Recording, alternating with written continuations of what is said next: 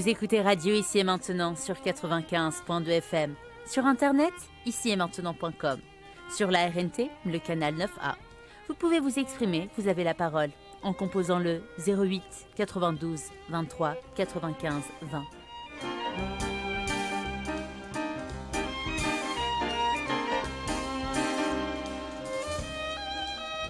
David Abbassi, écrivain, historien, philosophe, est avec vous tous les lundis et chaque dernier samedi du mois dès 23h.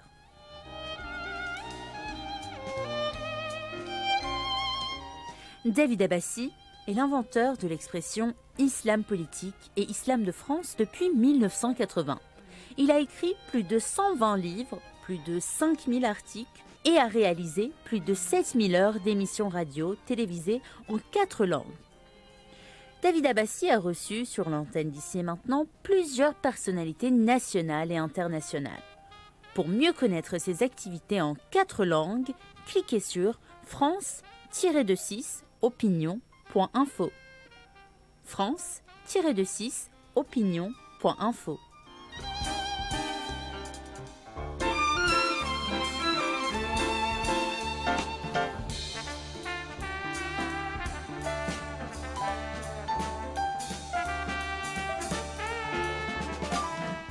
Vous pouvez intervenir pour vous exprimer et poser vos questions, réagir sur l'actualité, partager vos informations en composant le 08 92 23 95 20. 08 92 23 95 20.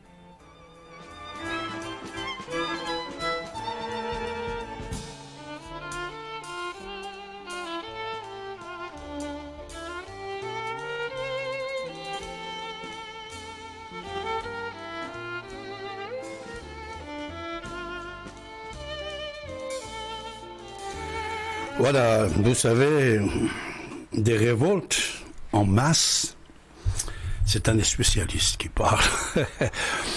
des révoltes en masse a besoin d'une organisation. Sans organisation, vous ne pouvez rien faire. Une organisation, ça peut être une parti politique, ça peut être une association, et ça peut être n'importe quoi. Alors, cette organisation, il a besoin de l'argent, de programmes et de, de, d'un comité. Comité, au départ, ça peut être 5, 10, 20, 50 personnes. Avec l'argent qu'ils ont, ils vont commencer à organiser la révolte. Moi, j'ai organisé des révoltes, puisque vous savez, je suis un révolutionnaire contre les ayatollahs depuis 40 ans. Même euh, depuis l'âge de 13 ans, j'étais organisé, j'étais membre de partis politiques à l'époque de Shah d'Iran. Même moi-même, j'ai organisé des organisations. Pour ça, ce que je vous dis, c'est du métier. Ce n'est pas des blabla. Une fois que vous avez l'organisation, et cette organisation doit être forte, euh, l'argent c'est très important, le programme c'est très important, la tête dirigeant très important, euh, vous, pouvez organiser des révoltes. la révolte de mai 68, c'était fait par une organisation. Ce n'était pas fait comme ça, la blab. Euh, type. Actuellement, écoutez bien. Il y a actuellement, ici maintenant que je parle avec vous, 20 000 combattants étrangers en Irak et en Syrie. 20 000 personnes.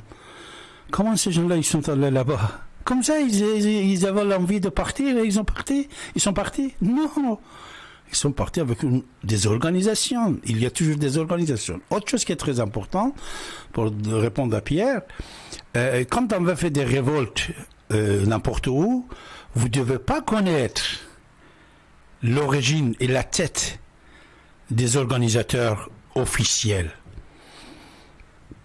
Si le pays X il va faire des révoltes dans le pays Y. Il ne faut pas qu'on voit, on se voit.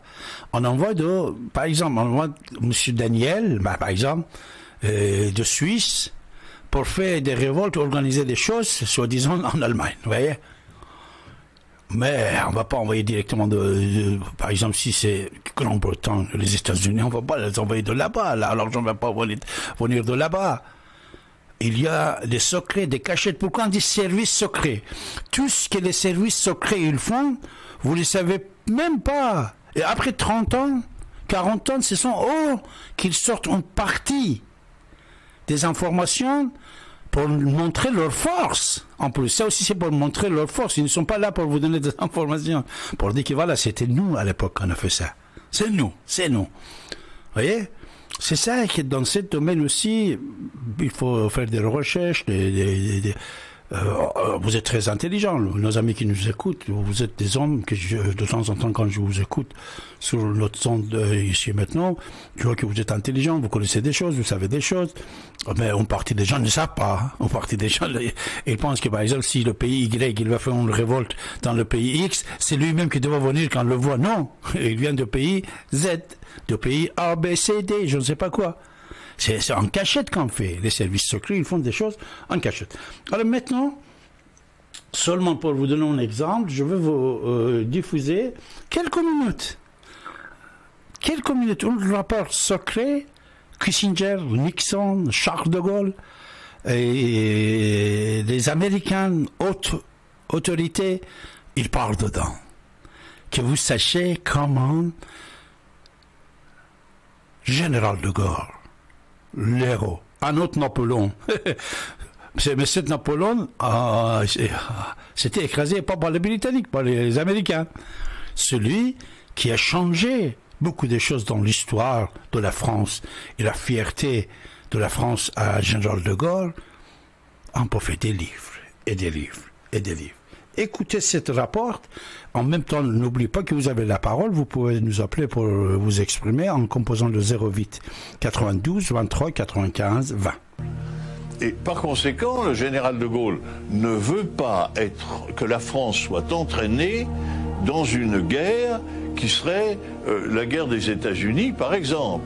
Alors il y a eu des incidents, bien entendu, qui ont montré au général que les Américains, via l'OTAN, traitait la République française, son territoire, ses dépendances, comme des sortes d'annexes où il pouvait improviser ce qu'il désirait sans rendre compte de ce qu'il faisait à personne.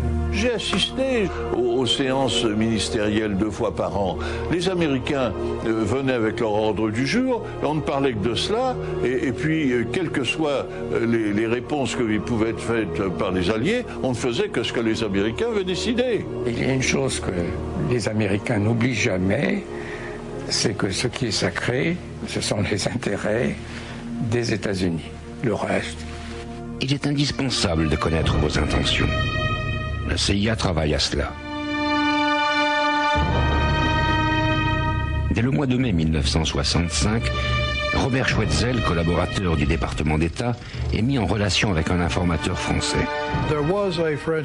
il y avait effectivement un Français qui nous informait de ce qui se passait.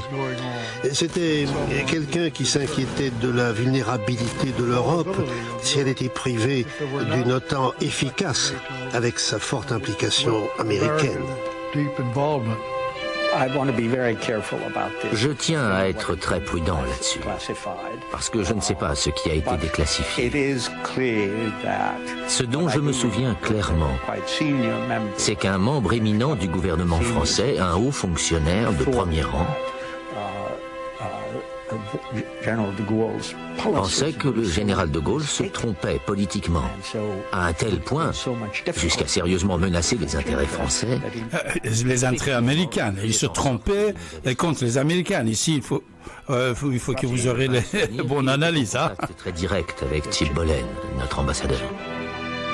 C'est à l'ambassade américaine de Londres, le 17 mai, que Schweitzel rencontre cet ami de l'Amérique. Il établit un rapport pour sa hiérarchie. Il est venu me voir à notre ambassade de Londres. Comme toujours, il était très loquace. La taupe lui révèle que De Gaulle va quitter l'OTAN. Quand? Elle cherche. De Gaulle est violemment anti-américain, au point que ça en devient presque une phobie. Il n'y a aucune chance pour un quelconque compromis. Les Américains ne doivent absolument pas donner l'impression qu'ils veulent chercher un accord. Si les États-Unis tiennent bon, alors il reste toujours la possibilité que les Français reviennent sur leur avis. Qui est l'informateur? Aujourd'hui encore, son nom est effacé des documents déclassifiés. Il y avait dans, dans le ministère des Affaires étrangères euh, des hommes qui étaient très hostiles à la politique du général de Gaulle. Je crois que euh, sept ou ces taupes, ayant eu plusieurs, je pense, avaient la conscience tranquille. Et ils avaient l'impression que en faisant, euh, en transférant. Sans aucun doute, ces gens étaient financés par les Américains ou flattés euh, par des femmes et des idées, je ne sais pas, communistes, des choses comme ça. Hein. Néfaste pour la France. La taupe du Quai d'Orsay informe les Américains surtout heure après heure. Et on n'apprend plus rien de votre conférence de presse du 17 septembre qu'ils ne sachent déjà politique étrangère, il a annoncé pour 69 la fin de la subordination de la France à l'OTAN et évoqué l'entente qu'il envisageait de l'Oural à l'Atlantique. Vous dites que la France va quitter l'OTAN en 1969. La taupe vous contredit.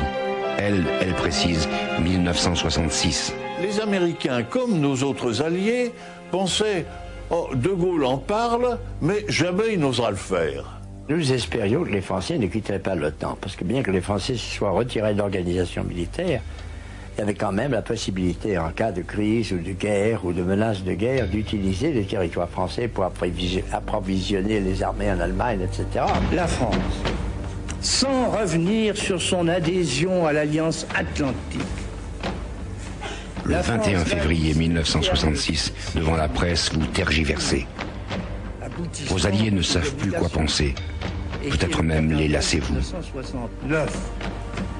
I have only seen uh, the very brief uh, press report uh, uh, regarding General de Gaulle's conference, which apparently has just concluded before this meeting, and I would much prefer to await uh, uh, a full report on the exact statement before getting into any detailed uh, discussion involving the general's uh, observations. Président Johnson vous prend-il vraiment au sérieux? À cette époque-là, notre point de vue évolue progressivement. Il y avait l'admiration envers l'homme, cela devient de la lassitude, et puis on finit par le considérer comme une menace pour les intérêts américains. Le 7 mars 1966, vous informez officiellement le président Johnson de votre retrait de l'OTAN. Nous l'avions prévu. J'imagine que dès janvier ou février ou début mars 1966, c'était une fin attendue. Je pense que la CIA et aussi notre ambassade nous avaient annoncé que c'était en cours. La stratégie de De Gaulle, c'était mettre devant le fait accompli. Après, on n'avait plus qu'à se débrouiller. Mais je crois que sa plus grande erreur est d'avoir quitté l'OTAN. C'est Kissinger. military personnel and installations in France may only be a memory if General de Gaulle's April 1st, 1960. Un débat partage alors la Maison Blanche. Réagir ou laisser faire. Johnson tranche. Lyndon Johnson a réagi en disant Si quelqu'un vous demande de quitter sa maison, vous prenez votre chapeau et votre manteau, vous dites au revoir et vous partez sans faire de vagues. Pour lui, ce n'était pas qu'un proverbe texan. Notre calcul d'un point de vue stratégique était que nous n'avions en main aucune carte qui puisse changer la décision française. Pour Johnson, ce qui était extrêmement important,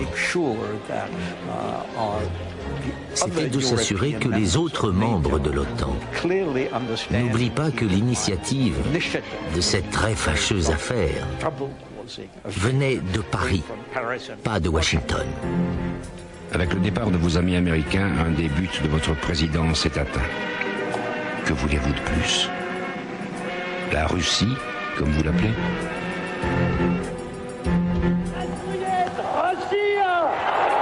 Vous projetez de faire en juin 1966 un voyage controversé en Union soviétique.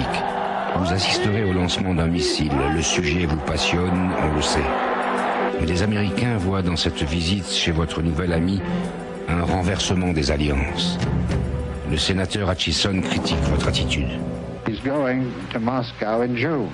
Now, he isn't going there just to leave his car, to have a pleasant uh, glass of vodka with some of the Russian leaders. He's going there to carry out the policy which he has talked about. This uh, Europe from the Atlantic to the Urals. He believes that he can bring about this situation. He hasn't the slightest conception that his security depends upon the great number of armed Americans that stand between him and trouble, the great number of armed Germans and Dutchmen and Belgians, etc. President Charles de Gaulle, wearing his army uniform, arrives at Moscow's airport for the start of a 12-day state visit. L'Union soviétique représentait une menace absolument colossale pour nous et pour le monde. Alors, le voir partir pour Moscou avait tout pour effrayer n'importe quel homme sensé. Qu'est-ce que ce type va fabriquer Et jusqu'à quel point va-t-il gêner nos intérêts La CIA, toujours derrière vous, se procure trois jours plus tard le compte-rendu de vos rencontres avec Brejnev et Kosygin. Un rapport obtenu grâce à la taupe française. Ce rapport soulage la Maison-Blanche. Entre l'Amérique et l'URSS, vous ne vous trompez pas d'adversaire. Aujourd'hui, certains conseillers fanfaronnent. Il faut bien que les journalistes aient quelque chose à écrire. Il faut qu'ils aient des histoires à raconter. S'il n'y a pas vraiment d'histoire, ils dramatisent. Mais la dramatisation, ça a des conséquences, parce que les chefs d'État lisent les journaux, et ça les contrarie, ça les énerve. Et leurs ministres des Affaires étrangères aussi. Et puisqu'il faut bien que ces chefs d'État et ces ministres prononcent des discours, ça devient au plus haut niveau, une sorte de vaste comédie. Mais à la base, il n'y a jamais eu véritablement quoi que ce soit en cause. Résumons-nous. En 1967, les troupes de l'OTAN quitteront la France. Vous avez rapatrié des États-Unis vos réserves d'or. Et vous avez, sept ans avant Nixon, reconnu la Chine communiste de Mao. Vous n'avez cessé de répéter à votre ami américain que le Vietnam serait un échec cuisant. Vous nous défiez. Vous allez bientôt partir. Aujourd'hui, alors que la guerre s'intensifie, vous dénoncez l'Amérique et appelez à la paix. Les accents de votre discours de Phnom Penh au Cambodge nous font mal. Vous ne changerez donc pas. Le 9 septembre 1966, en provenance du Cambodge, vous atterrissez en Polynésie. Une destination tenue longtemps secrète mais révélée par la taupe à la CIA. Y a-t-il encore quelque chose à découvrir? À ce moment-là, les Américains se font plus d'illusions. Ils savent que nous disposons des explosifs nucléaires. Mais ils ont l'espoir que nous n'arriverons pas à mettre au point euh, facilement, parce que ça coûte très cher, parce que c'est très compliqué, euh, les lanceurs. Que cachiez-vous, général, derrière le folklore de Mururoa? Le général tenait beaucoup à assister à, à un tir nucléaire. Il avait espéré que ce serait un tir thermonucléaire. Ça n'a pas été tout à fait un tir thermonucléaire, c'était une très très forte euh, bombe A, mais pas une bombe H. La réaction euh, du général de Gaulle, qui est à bord de ce navire euh, où je suis à côté de lui, lorsque nous voyons cet immense champignon classique des, des, tirs nucléaires, surtout lorsqu'ils ont lieu sur un atoll. La réaction de De Gaulle, c'est dire c'est magnifique. Pour lui, c'est magnifique, non pas parce que c'est une arme de destruction épouvantable, mais parce que c'est la réalisation française qui montre que la France est devenue une puissance nucléaire. La France fait partie désormais des grands. Est-ce pour cela que vous provoquez les anglophones avec votre Vive le Québec libre? On vous soupçonne d'encourager la partition d'une province francophone qui serait moins soumise aux grands frères américains. L'administration démocrate en poste à Washington renonce à vous changer. Vous devez comprendre que, sur certains sujets, nous ne prenions pas De Gaulle terriblement au sérieux. De Gaulle lançait plein de pointes contre les États-Unis, mais il faisait bien attention de ne pas aller trop loin sur une question majeure. Ça, c'était du De Gaulle tout craché. En fait, Johnson pense que vous n'êtes pas immortel et que bientôt vous partirez. Nous allons encore devoir patienter deux ans. Lyndon Johnson ne se représente pas aux élections de 1968. N'oublie pas, il dit deux ans, en est 66, et deux ans, 68, mes chers amis. Notez bien tout ça. Quand Nixon est élu, sa première visite à l'étranger, c'est Paris. Nous avons vécu cela comme un moment historique, puisque nous étions arrivés à mettre fin aux querelles franco-américaines. C'est enfin le retour à Paris de l'ami américain. Nixon avait de bons rapports personnels avec le général de Gaulle, ce qui n'avait jamais été le cas de ses prédécesseurs. Nixon appréciait les dirigeants forts. Il avait le sentiment que de Gaulle rendait la France plus forte. Il voulait une France forte au sein de l'Alliance. Malraux, Mesmer, Couve de Murville, comme pour la visite de Kennedy en 1961, le décor est identique. Et une fois encore, dans les salons de l'Élysée, vous nous interpellez. Pendant la grande réception à l'Élysée, un conseiller vient me dire Le président voudrait vous parler. Alors, j'y vais. C'était un homme que j'admirais depuis toujours. Il me regarde il était bien plus grand que moi, alors il me regarde de haut. Et il me dit, pourquoi ne quittez-vous pas le Vietnam? Directement. Pas de ravi de vous rencontrer ou quoi que ce soit, juste... C'est Henry Kissinger. Henry Kissinger. Ne changez donc pas, général. Quant à la bombe, vous ne nous demandez rien, car... Kissinger me dit, je suis chargé par le président de vous dire que il ne prolongera pas l'opposition américaine à l'armement nucléaire français. Nous considérons que cet armement est un fait. Nous sommes allés jusqu'à la limite absolue qui nous était permise.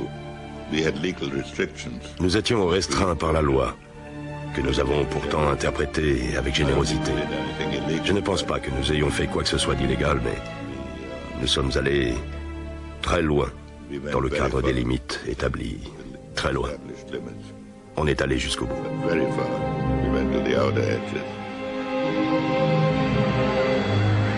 Et tout cela, vous ne profiterez pas. Deux mois plus tard, le 27 avril 1969, vous quittez le pouvoir.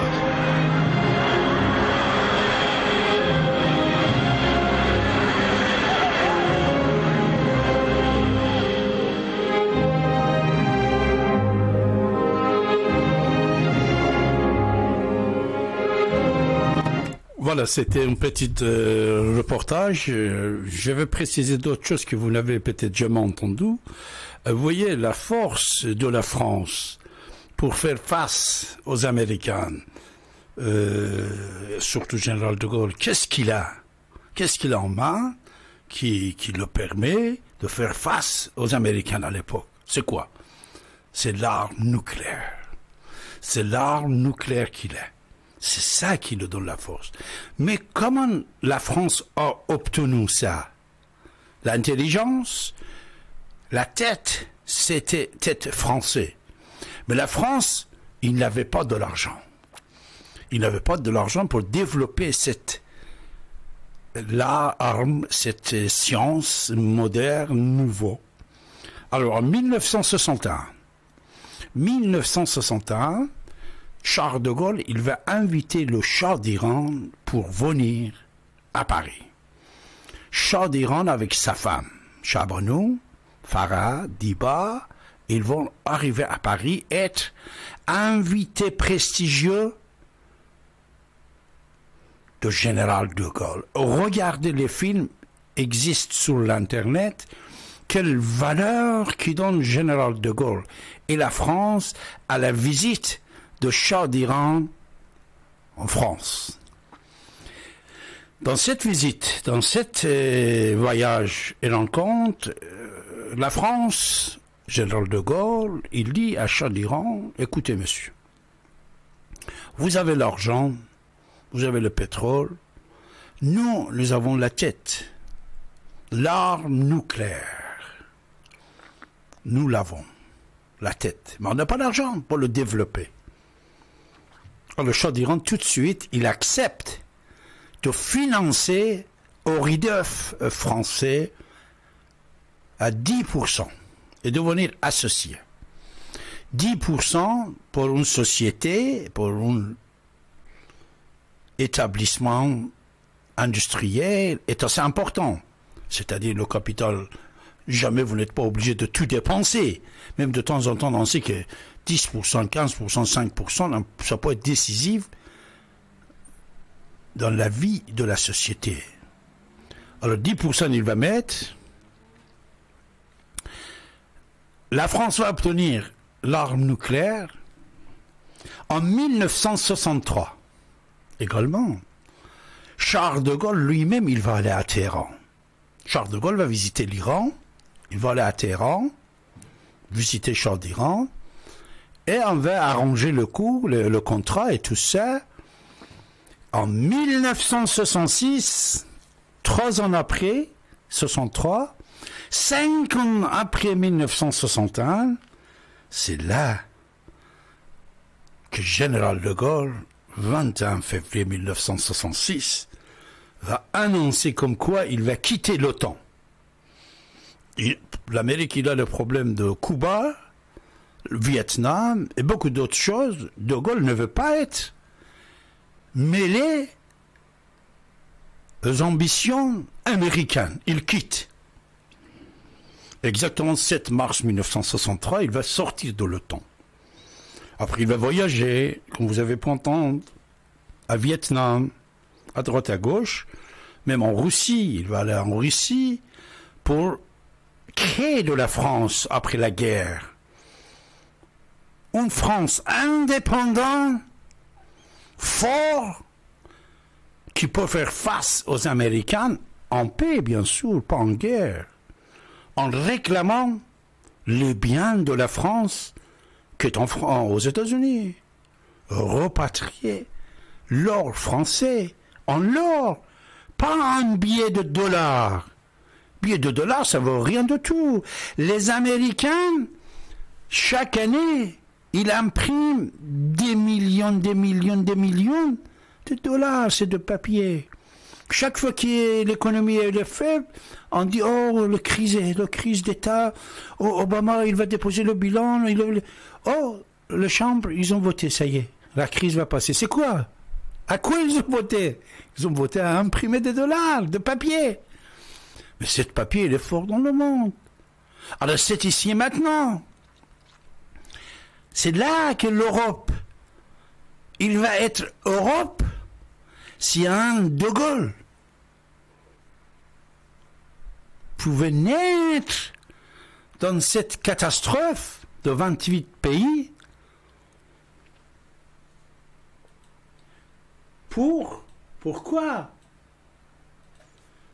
Pour installer l'euro à la place de dollar. C'est là que l'Europe va devenir plus forte que les Américains, l'Amérique. C'est là que l'Europe va effacer tous ces problèmes de pauvreté, de chômage, euh, sans-abri, tout, tout, tout, tout ça. Si euro, il vient fort, il vient monnaie d'échange mondial, non, même en Europe, seulement en Europe, les 28 pays, vous voulez acheter le pétrole, vous voulez vendre des choses, payer en euros, encaisser en euros, sortez de cette OTAN que De Gaulle il le, disait comme euh, une machine colonisateur. Il disait le dollar, c'est des billets. Non, il disait des papiers. C'est là, ici et maintenant. La France, il a besoin d'un De Gaulle. Et là, le peuple doit être intelligent. Et le dirigeant qui va faire ça doit venir parler avec le peuple que moi je vais faire quelque chose en votre faveur. Mais si on va créer encore une autre révolte nationale contre moi, faites attention, soyez intelligents. C'est là, mes chers amis, que pensez-vous à ce problème?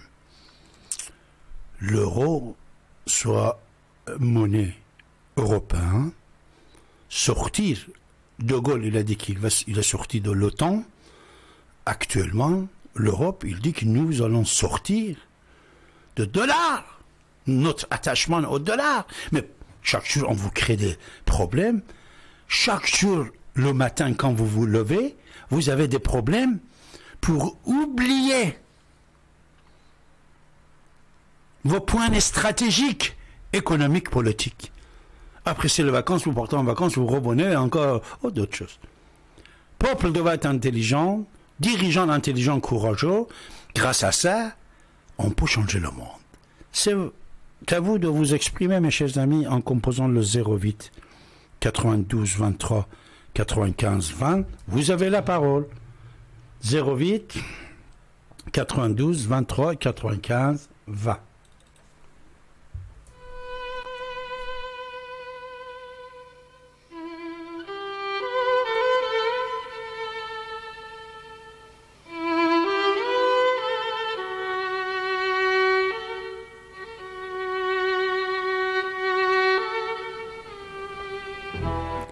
Vous écoutez Radio ici et maintenant sur 95.2 FM, sur internet ici et maintenant.com, sur la RNT, le canal 9A. Vous avez la parole en composant le 08 92 23 95 20. 08 92 23 95 20.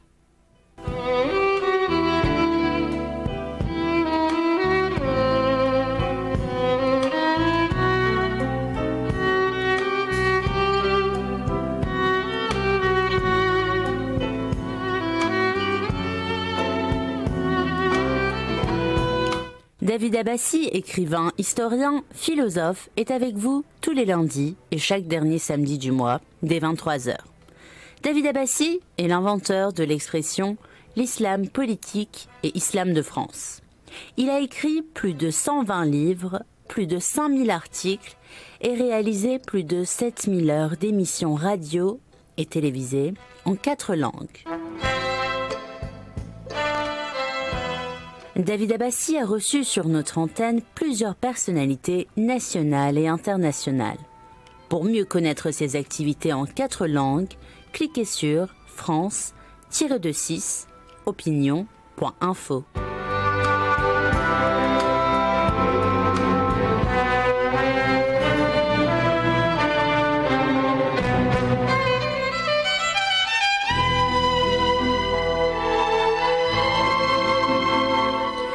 pouvez intervenir pour vous exprimer, poser vos questions, réagir sur l'actualité, partager vos informations en composant le 08 92 23 95 20. 08 92 23 95 20.